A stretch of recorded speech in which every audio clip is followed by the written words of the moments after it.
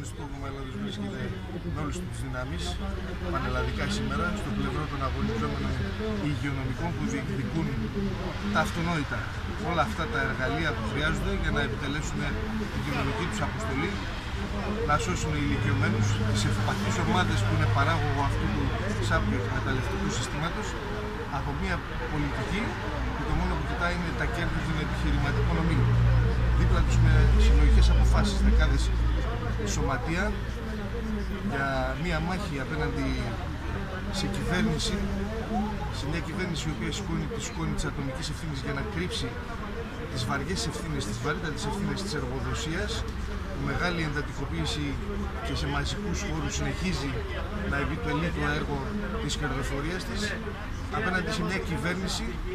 η οποία θέλει να μην τεθεί το ζήτημα της κάλυψης των αναγκών συνολικά του συστήματος υγείας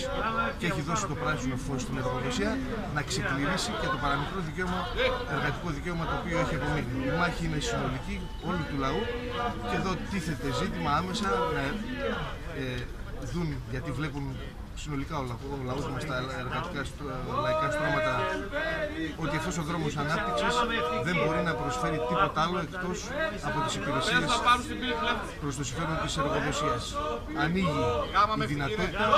να τεθεί ζήτημα ενός δρόμου ανάπτυξης που μπορεί να καλύψει συνολικά και το ζήτημα της υγείας του λαού αλλά και της επιβίωσής του με βάση την εργασία. Ωραία, ευχαριστούμε πολύ.